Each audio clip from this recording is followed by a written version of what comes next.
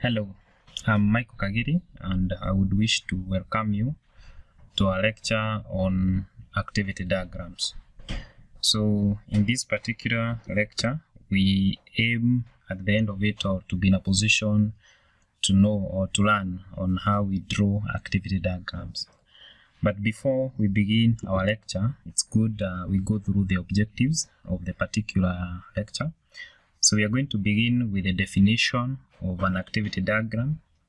We shall also look at the purpose of an activity diagram.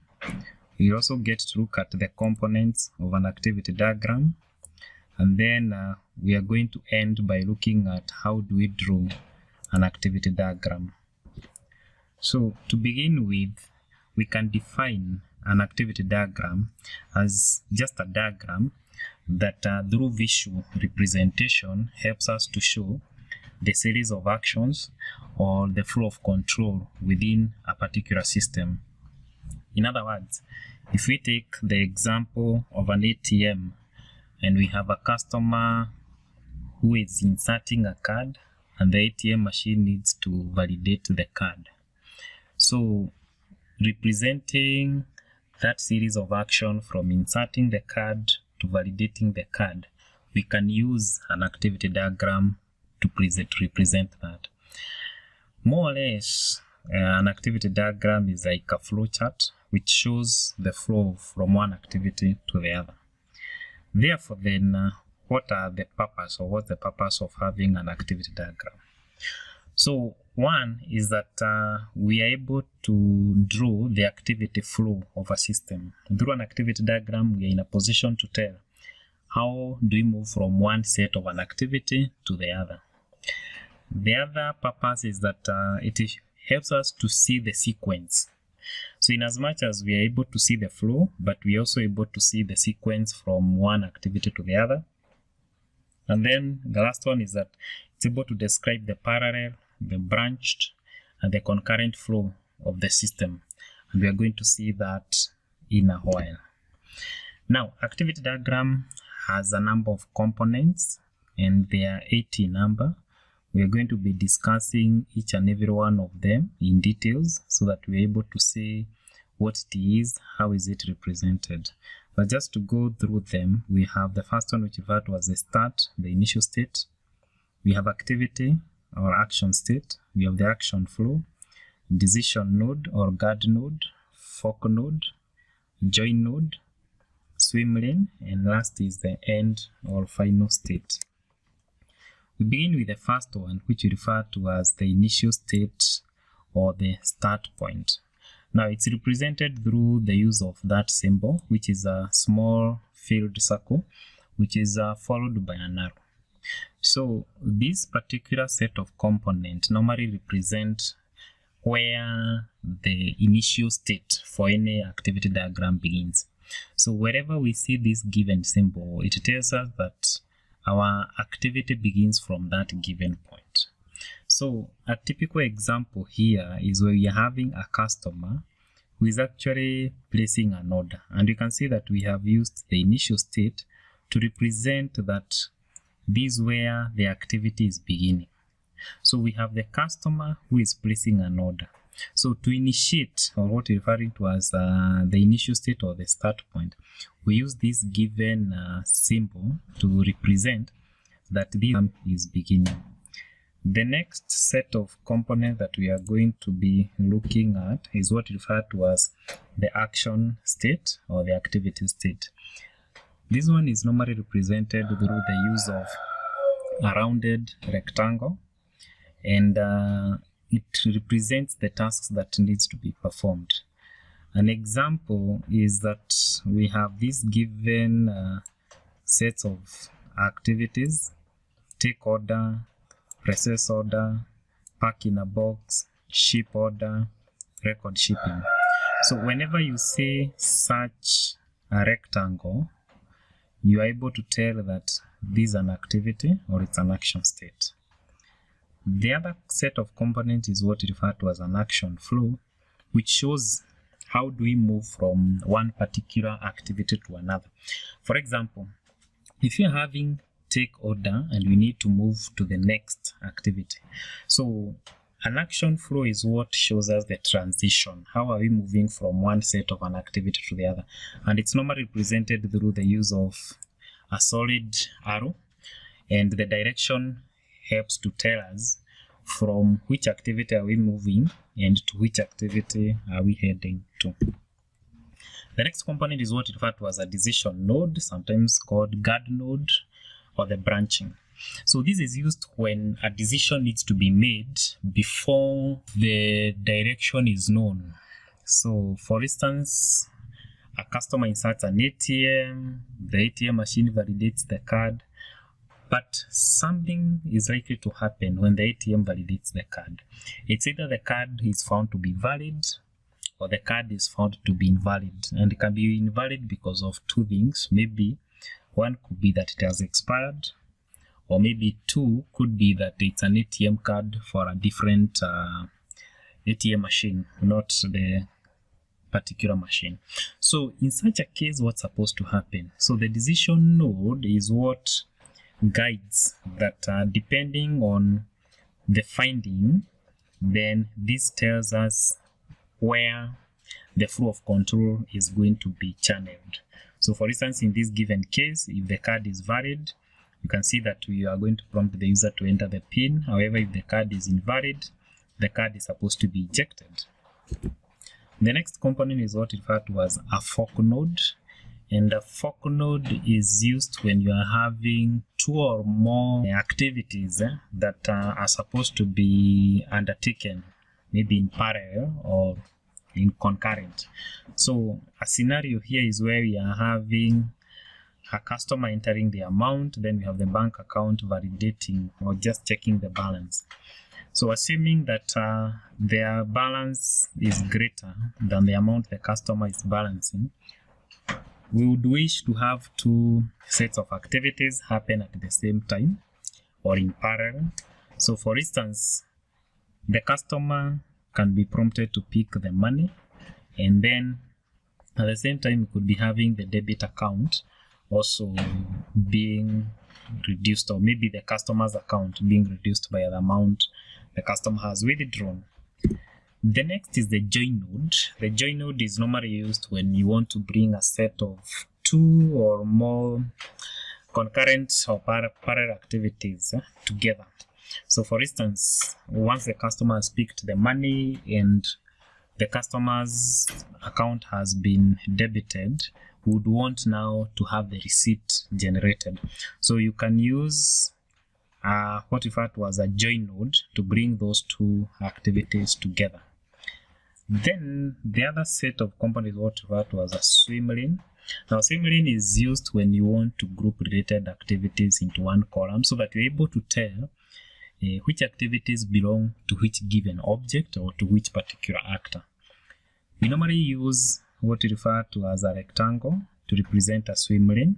So for instance, if in the case of an ATM, you can draw a swim lane and the person who initiates the activity is supposed to, or the given object which refer to now as an actor, which uh, initiates the activity is placed to the farthest left and then the order depending on the interaction.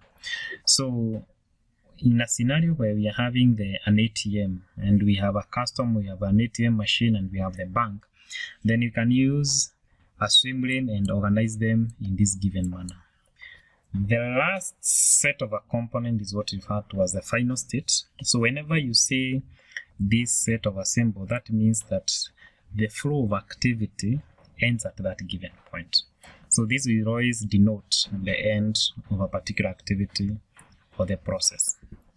Now, having explained those particular components, then let's get to see how we can use those particular components and draw an activity diagram.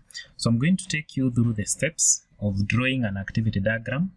I'll try to include one component at a time so that uh, we are able to understand and then by the time we are finishing you're going to be having or we are going to have learned all the particular components so to begin with let's presume a scenario we are going to demonstrate through a visual representation the withdrawal process that happens in a bank.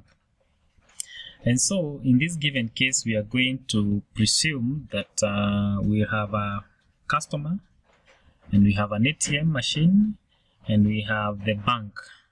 So in this given case, those are going to become our objects and we are going to organize them as follows. So we have the customer, we have uh, the ATM machine and we have the bank.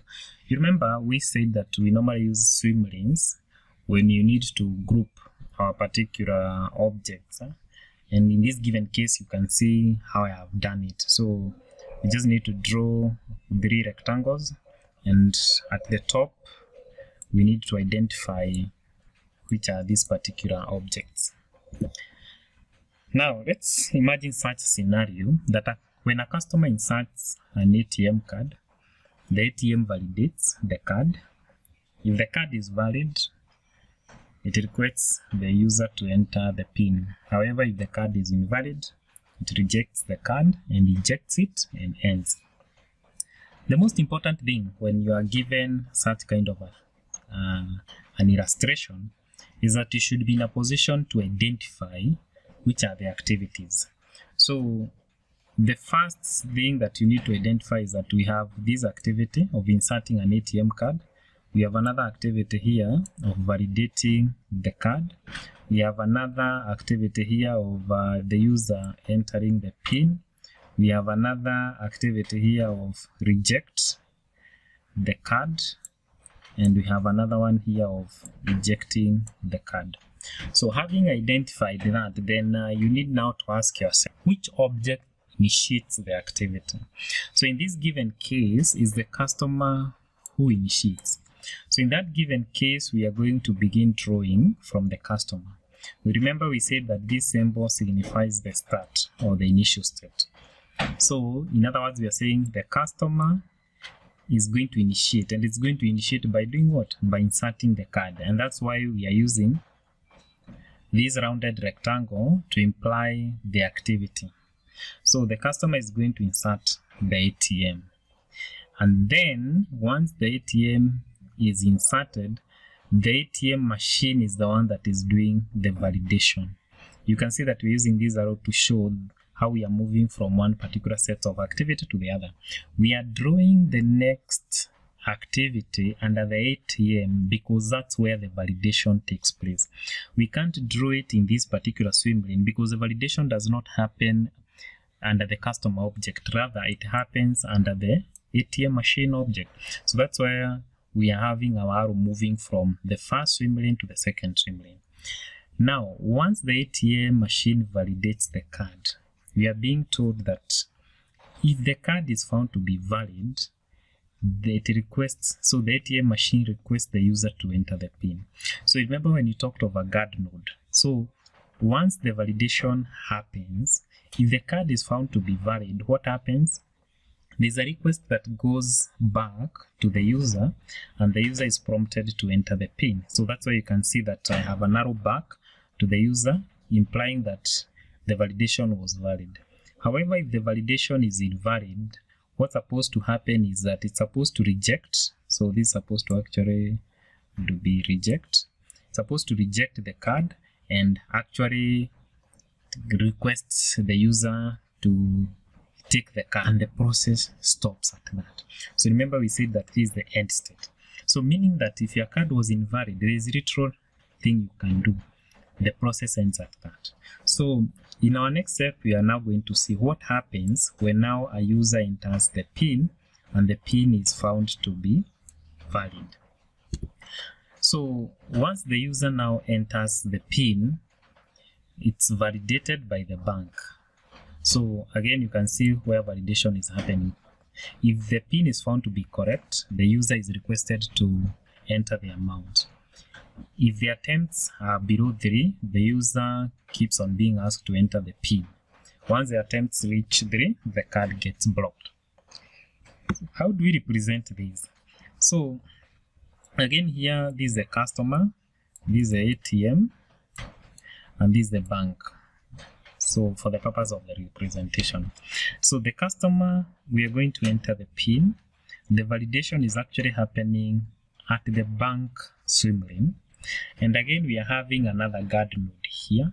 So we are being told that if we are being told that uh, if the pin is incorrect the user has three chances of actually re-inputting the pin so the pin is going to be inserted.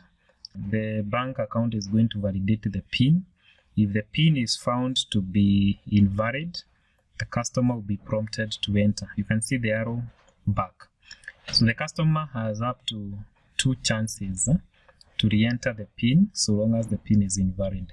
However on the third attempt what's supposed to happen we are being told that the, the atm needs to be the card is supposed to be blocked. So once the attempts get to three the card gets blocked and the customer is actually supposed to be informed that the card has been blocked and the process stops. So if the card is blocked again there's nothing much the customer can do. The process ends at that. So we are only able to proceed if the customer was able to enter the correct pin and now being prompted to enter the amount. Let's see what happens after that. So once the user is requested to enter the amount, the amount again is checked against the available balance. So if the customer has inputted an amount that is less than the balance, the amount is dispensed to the user and the account balance reduced. The card is ejected and the receipt is dispensed to. So we assume that again here we are having the customer, here we are having the ATM, and here we are having the bank. So the customer is going to enter the amount, the bank is actually going to confirm the balance. So if the amount the customer is withdrawing is less than the balance, so you remember when you talked of a fork node, so this is what you're referring to as a fork node. So we are going to have two parallel activities that are going to happen. So if the amount is found to be less, what's going to happen is that the customer's account is going to be debited. In other words, we are going to reduce their balance by the amount that they have withdrawn but we're also going to prompt the user to pick the amount that have actually been withdrawn. After that, what's supposed to happen, you remember now when you talked of a join node, that uh, once the amount is uh, dispensed and the account balance reduced, the card is ejected and the receipt dispensed to. So having completed these two sets of activity, the ATM is going to actually print the receipt and after printing the receipt you can see another fork node here. The customer is going to be requested to pick their card and immediately they pick their card also the receipt is actually going to be printed and they can as well pick the receipt. Now what happens when a customer's funds are insufficient as shown. So if the funds are insufficient, the card is supposed to be ejected and the insufficient receipt is supposed to be printed. So how do we represent that? So you can see that we now have an arrow that moves straight that shows that if the withdrawn amount is greater than the balance, then what's supposed to happen is that our ATM, so again here, this is our customer, this is our, uh, sorry, this is our ATM, sorry, is our ATM and is our bank.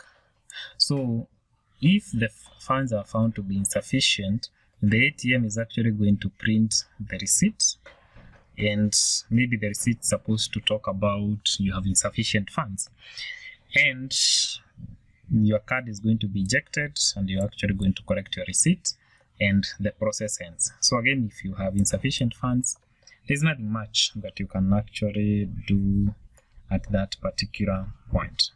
So cumulatively, the diagram though might not be very clear, but uh, these are the steps that we have actually been following. We talked of we have the customer, we have the ATM, and we have the bank.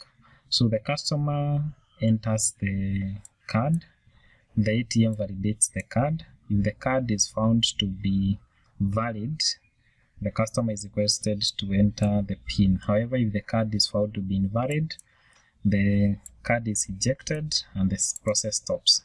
So once the customer enters the PIN, the validation of the PIN happens. The customer is given two options to re-enter the PIN.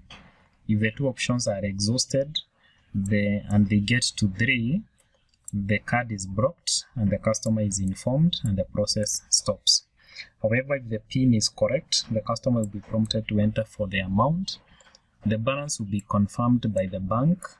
If the amount is found to be less than uh, the balance, then uh, the, the customer's account is going to be debited and the customer is going to be prompted to enter the um, to pick the amount.